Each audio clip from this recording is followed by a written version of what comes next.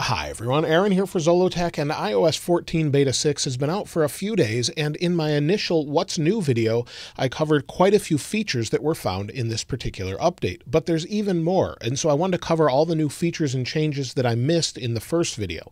Now if you're looking for the follow-up video, look for that in a day or so. Let me know if you prefer Saturday or Sunday in the comments below, but this video will cover the new features and then in the other video I'll talk about battery life, performance, and everything based off the YouTube YouTube community poll. So if you haven't voted on the YouTube community poll, go to the community tab on my YouTube channel and you'll see the poll there. So if we go into YouTube under community, you can see the actual poll. And so far, 10,000 people have voted. So go there and make sure you vote and let us know how it's going. And then I take that data and compile it and let you know how it's been.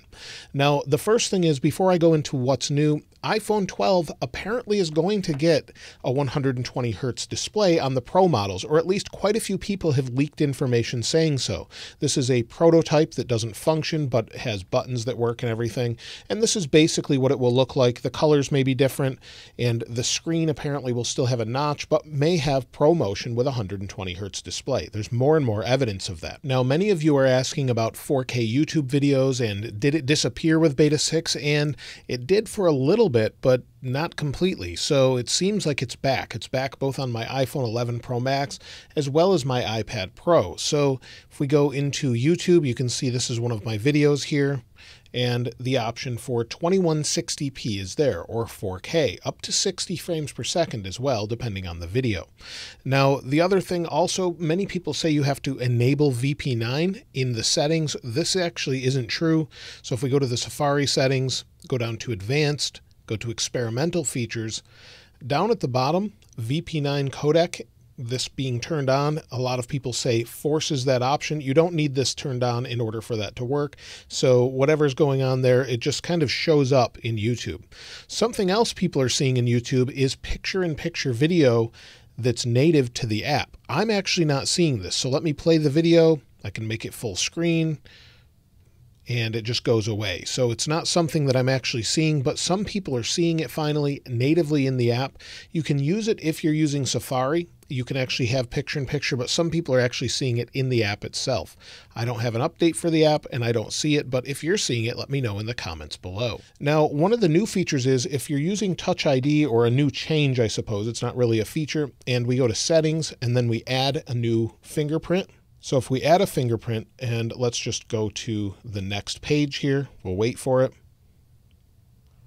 Takes a second, we'll get to the next page, and you'll see it says adjust your grip. Now, compared to what we had before, this is what it looked like before.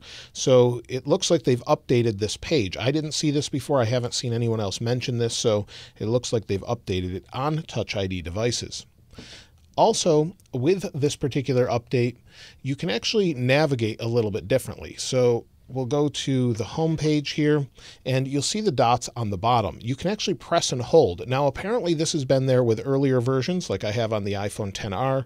You can do this, but no one seemed to notice it. So you can actually do this on Beta 5 as well that I have on the iPhone XR and I'm using Beta 6 on the 11 Pro Max. And so it's just a nice new way to navigate. Now, one thing that is not there with this particular update is you can no longer have a blank page. So for whatever reason, you can't have a blank, page anymore. So if we go into jiggle mode and you'll see I have a blank page. You just can't add one. So for whatever reason, they've done away with this. I know a lot of people would like that just to have a blank page with the dock on the bottom, but unfortunately they've disallowed that. So if you want to see that, submit feedback so they bring it back. So that's kind of strange that they got rid of it. It was a lot of people really appreciated that. Now the shortcuts get updated a little bit. Now some people were seeing this with the widgets. So let's go ahead and add a shortcut. We'll scroll down go to shortcuts, you'll see it says new shortcut. Now this may be different for you, but it looks the exact same on beta 5 for me. So if we go over, do the same thing, you'll see add a shortcut is the same. So now if we bring this over to say our home screen here, we'll just add it here and there, we'll lock it in place. And if we press and hold on it, and then we edit the widget, this is where there's a change. Instead of saying favorites, it now says shortcut. So it's a little bit different. It's not a huge change. Some people were seeing it different when you're adding the widget itself, but I'm not seeing that change at all. Now, other people are seeing the weather widget updated. I'm actually not seeing this, unfortunately. So if I go over here and let's go ahead and add a weather widget. I thought I added it already, but let's go down and add a weather widget. Some people are seeing this look completely different. I'm not seeing this change, and it's kind of got a different style or layout. I'm not seeing that change. Even when I add the widget, it stays this way. So some people are seeing an updated version of the weather widget. I'm not seeing it, although I did see it earlier and then it sort of went back. So I don't know if they can update these in real time, but there's definitely a change with some of them. Also something I'm not seeing that's different from others is if I go to news, I still have a large version here. So I've got the full size, full size screen news here. You can't add it to the home screen, but I still have the full page version. So I know some people weren't seeing this but I am. It's not something I would use, but it's there for me. Now there's a couple small changes, and again, this makes me think that Apple is updating this in real time because some people are seeing these changes in the app library, but then they're all of a sudden appearing on the older version. So for example, Lifestyle has been renamed to Other, and if we go to Beta 5, I see the same thing. So Lifestyle, if we go over here, you'll see that there's an other and I don't have lifestyle. And so I'm not seeing this change on this particular version. The same is true also with photos being renamed to creativity. So if we find creativity here, we'll cancel. You'll see there's creativity for photos, and I have it on the old version as well. However, it used to say photos, so I don't know if they can update this in real time, like a web page, for example, or something else. So a lot of people were seeing these changes, and now they're not showing up. So let me know which one you have in the comments below. Now, another small change is in the app library, Apple has moved feedback under the other section. So I'm not sure why they've put it here, but they've just recategorized it under other. So make sure you're reporting feedback. They'll actually take that information, categorize it, and make sure it's in a priority list based on most and least important. And so if something's not functioning, of course, that would go first, and then small changes will go later. So they'll update those later as well. Now, also on the iPad, there's a slight change that was actually there with Beta 5, but I didn't notice and many others didn't notice either. And that slight change is once Siri is active, you can still interact with your apps. What's the weather today? So you'll see Siri's working, gave me the weather, and I can still interact. What games are playing today? So I can go into my apps. Let's try it again. What games are playing today?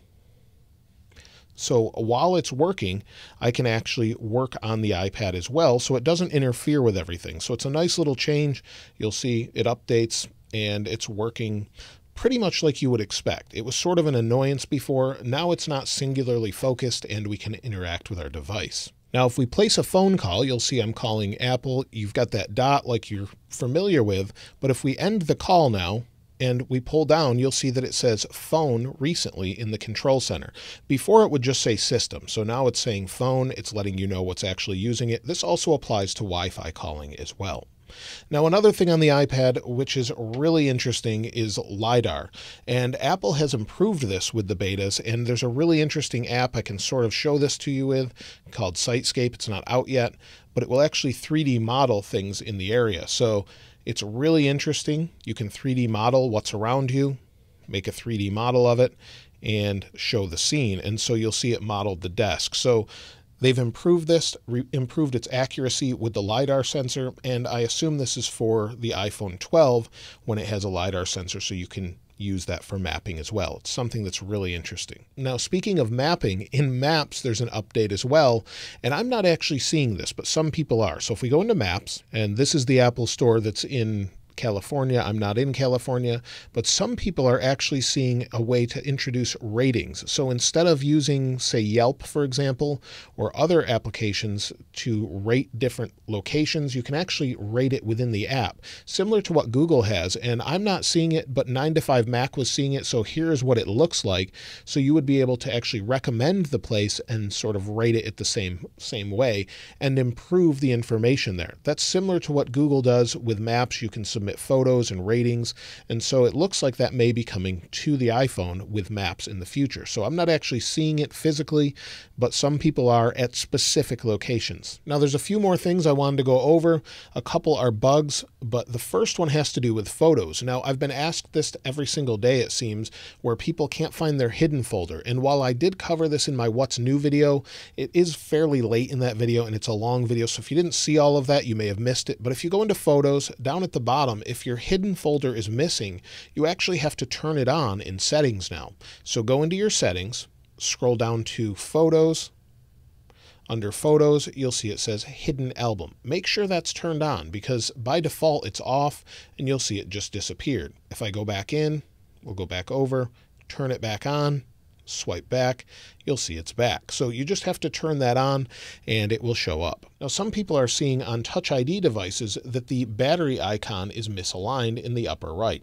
I'm not really seeing this, so let me bring this up close. I'm not really seeing a misalignment, but some people are seeing this, so let me know if you have that in the comments below. Now, finally, there's an error that seems to be pretty prominent on most people's phones if they use AirPods. I'm getting messages about it every single day, so let's go ahead and connect the AirPod to my phone. I'll just put this in my ear and let's make sure it's connected to my 11 Pro Max. So we'll go to Bluetooth and AirPods 2. Let me connect it here.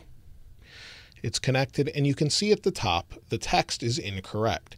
This is showing up for everyone. So your AirPod text is incorrect, and it's just showing up improperly on every single person's phone. So I'm sure they'll fix this in future updates. Also, I'm seeing this gap again with the control center. So something that's a little odd that's showing up that way. But those are all of the new features. I don't see really any other changes other than maybe a few slight tweaks to where the location of different icons are or text is. And that can always change from version to version. So I'll keep you updated. And of course, be sure to check back for the follow up video where I'll go over all the bugs and battery life and the overall experience based off the YouTube community poll. So let me know what you think, what day will work best for that in the comments below. If you'd like to get your hands on this wallpaper, I'll link it in the description like I normally do. And if you haven't subscribed already, please subscribe. And if you enjoyed the video, please give it a like. As always, thanks for watching. This is Aaron. I'll see you next time.